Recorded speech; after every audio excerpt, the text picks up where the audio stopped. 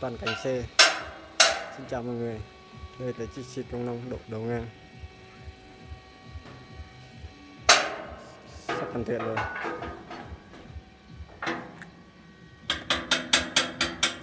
Xe rất là đẹp. Tại cơ khí và dung của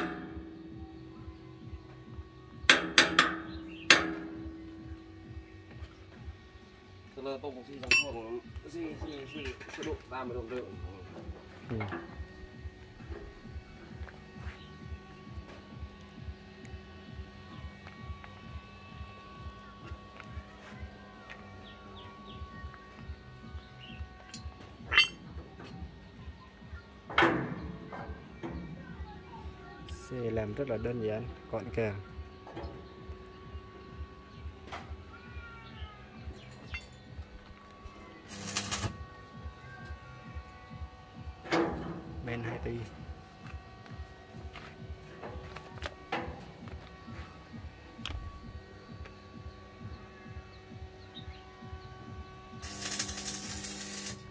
xe đã theo kinh nghiệm làm chỗ tiến phong nhiều năm.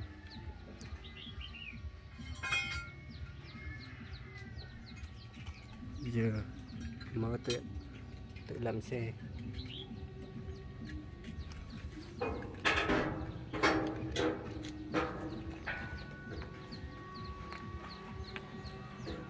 Đây có xe có khách đang đi chữa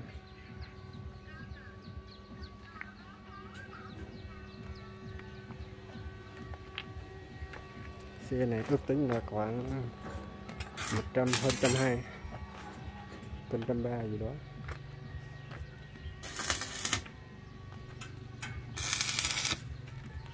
Do vật liệu sắt xi bên này lên, nên giá hơi cao một tí thường thường thì đóng xe này cỡ 100 triệu rồi